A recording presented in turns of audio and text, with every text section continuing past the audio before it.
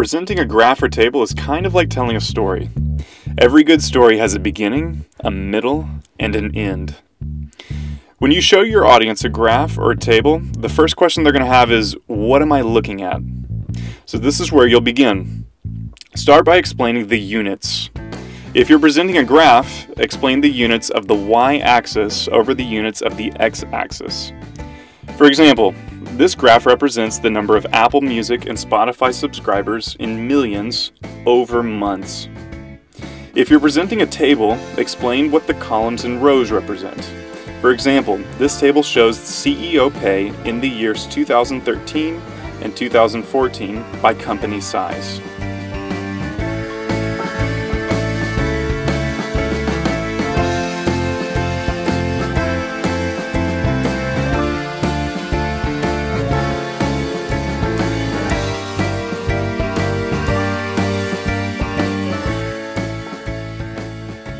Now that your audience knows what they're looking at, it's time to explain some of the key information from the graph or table.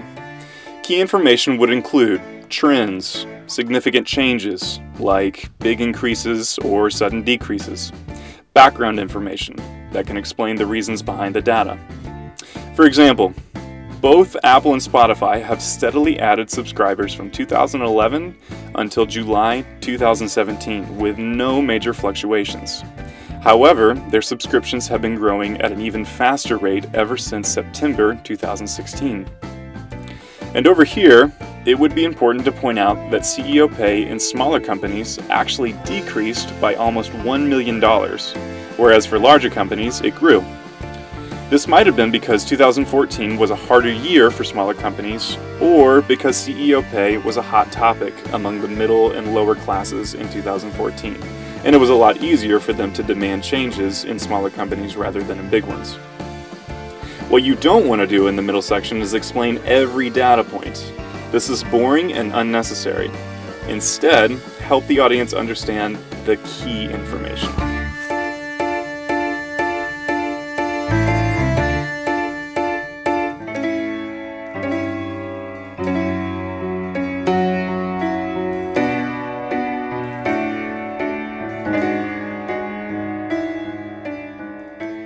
So, now that you've helped your audience understand what they're looking at and explained the key information of the graph or table, it's time to wrap up your presentation. There are two common ways to do this, and they both involve talking about the future. Number one, offer predictions. This works well if your presentation is about market conditions. Where do you see the market going? Try to keep the predictions general instead of too specific, as you don't want to be blamed if things don't go the way you said they would. Number two, provide recommendations. What should the company do with the data in your graph or table? Is now the time to increase production, or would it be smarter to invest in innovative new products for later? Again, only provide recommendations that you're confident the data supports.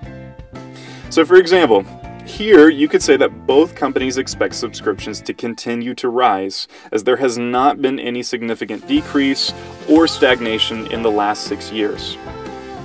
And here, you could say that although CEO pay has risen for large companies, it would be smart to first ensure that your company's earnings are steadily growing before deciding to raise the CEO salary in the years to come.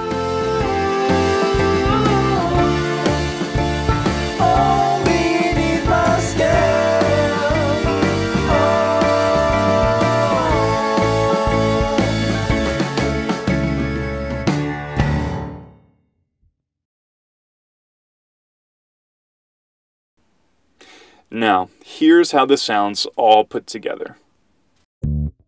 These graphs represent percentage growth in Netflix subscribers over quarters and years. From 2014 to 2017, total growth has declined slightly from 33% to 25% over the past three years. It appears that international growth has slowed the most from 78% to 44% whereas domestic growth is slowly by only 12%. However, the growth rate is still positive in all, in all markets, which indicates that Netflix continues to grow every quarter, and in fact, the growth rate saw a slight increase in the second quarter of 2017. In the future, We expect that Netflix growth rate will remain positive as there is still a lot of room in the international market to spend. Remember, presenting a graph or table in business is like telling a story.